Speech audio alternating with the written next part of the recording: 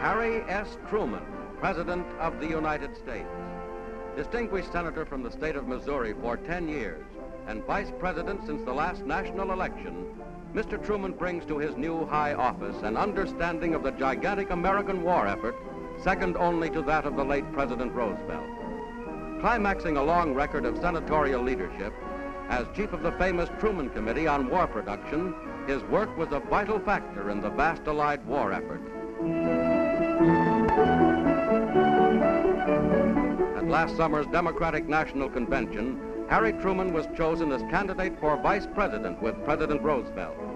His brilliant record, hailed at the convention, included leadership in legislation for the reciprocal tariff, for the Selective Service Act, for Lend-Lease, and the repeal of the Neutrality Act. In 1935, he had voted for the World Court and he had consistently given support to the progressive social program of the Roosevelt administration.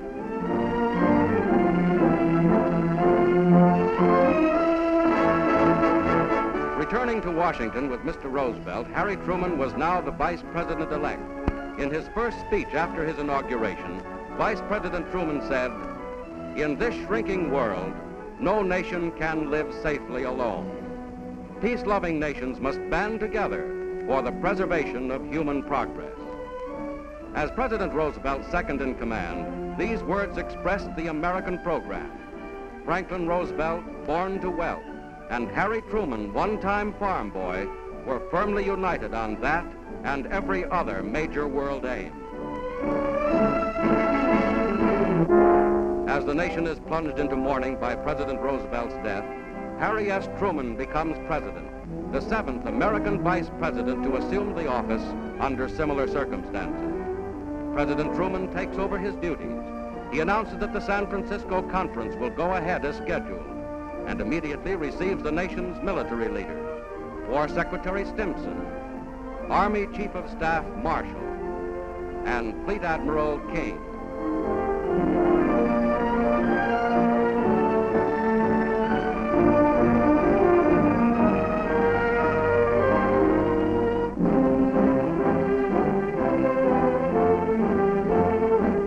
King. High Roosevelt aide who took part in the Crimea Conference, Secretary of State Stettinius, British Foreign Secretary Eden, and Ambassador Halifax also visit the President. Arriving to address a joint session of the Congress, President Truman receives thunderous applause. He pledges to carry forward the work of Franklin Roosevelt. With great humility, I call upon all Americans to help me keep our nation united in defense of those ideals which have been so eloquently proclaimed by Franklin Roosevelt.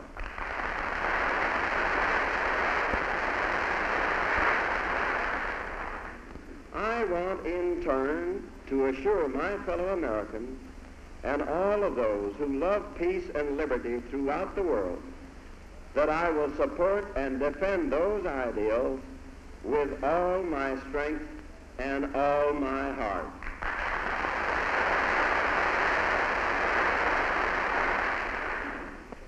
So that there can be no possible misunderstanding, both Germany and Japan can be certain, beyond any shadow of a doubt, that America will continue the fight for freedom until no vestige of resistance remains.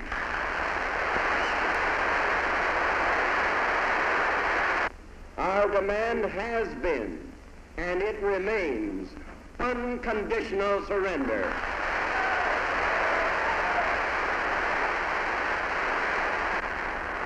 We will face the problems of peace with the same courage that we have faced and mastered the problems of war.